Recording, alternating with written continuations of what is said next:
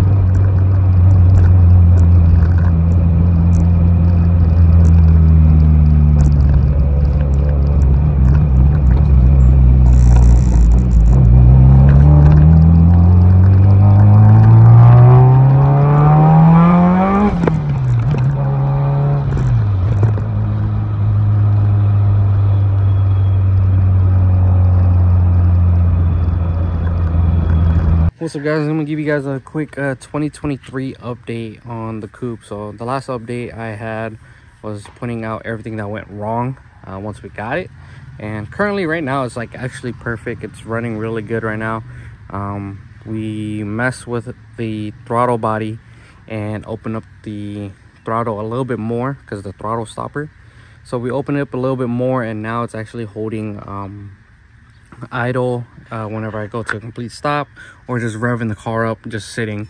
Because um, sometimes you can rev it up and then with the twin disc um, being so light and it revving so fast, when it comes back down, it will just completely just die and won't stay alive. So, and another thing is that um, this doesn't have an idle air control valve, which probably the reason why it does that, but um, from some of the other people I've been talking to. I actually recommend running a no idle air control valve because half the time it doesn't run right anyways uh, with this sort of build. So we actually fixed it messing with the throttle stop screw and locking it in at a perfect spot. Um, right now, idle is around like 13, 1400 RPM. Um, it might be a little high um, but from what I heard, for anybody running an idle air control valve, it's gonna idle a little bit higher than usual. So that's where it currently idles. Um, it runs pretty good now. Um, shout out to Caleb for swinging by and working on this. But yeah, just uh, give you guys a quick update on what's been going on with the coupe. Nothing much. It just sits out here right now. Uh, I've been trying to drive it. Uh, I might take it to an event this upcoming weekend. But everything's pretty solid. Um, it needs a wash, needs to be detailed. I need to clean the interior out.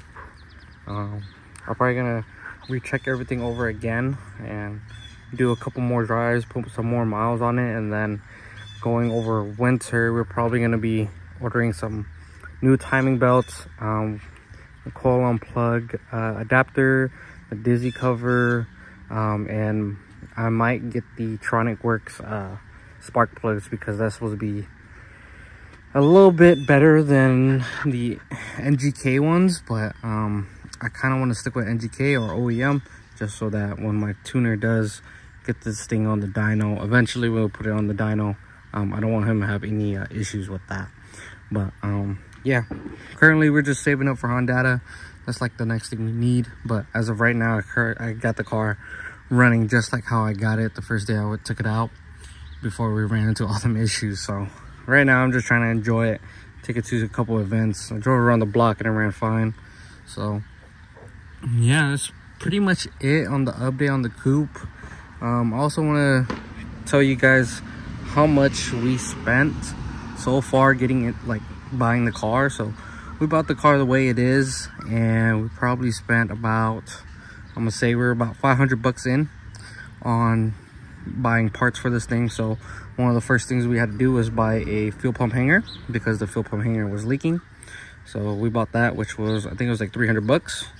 And then the second thing we had to buy oh actually we bought three things. The second thing we had to buy was a cop kit which is the whole coil on plug setup the wiring harness for the coil on plug setup and getting it soldered onto the ecu and then the third thing that we bought was the throttle body because the throttle stop on my other throttle body was stripped. So we got all that issued all figured out and in total of the three things that we had to buy to fix the car actually four because i had to buy the cam gears too which is 150 um, all that added up to around like five i would say roughly around 600 bucks which ain't too bad. I didn't put too much money into the car but um, the next thing i want to do is swap these slicks off and put some r triple eights all the way around and run 225 45s and then um, we're gonna throw the slicks on a different uh, pair of wheels which my brother has which is pretty nice and probably gonna buy that off him throw these slicks on there and if i need to throw slicks on this car um, those wheels will be ready to go. It's just that i need to buy two new sets of tires for these front ones. But besides that everything on the car is running good now. Um, like i said i'm about to take it to an event this weekend. Uh, saturday it's a good cause. It's for epilepsy and basically um, every entry that enters the show like i think it's five bucks to enter the show um, all goes to the charity for the epilepsy. They do a lot of giveaways raffles all that. Um, they also do trophies as well. So um, I, I, went to this meet a couple times uh, in the past and every time i went it's always a good turnout. Um, not many hondas it's mostly like Vettes you know some JDM cars here and there but um, I think a lot of people will be surprised to see this with the hood popped open and see a big turbo underneath the hood and take this out there. But yeah, just want to give you guys a quick update and, you know, make some car content for y'all. You know, I've been on busy with the podcast every Sunday. And um, now that uh, I did find another job for, you know, some side money, um, it's definitely going to be a lot harder to make more content for YouTube or Instagram and stuff like that. So hopefully you guys enjoyed today's video.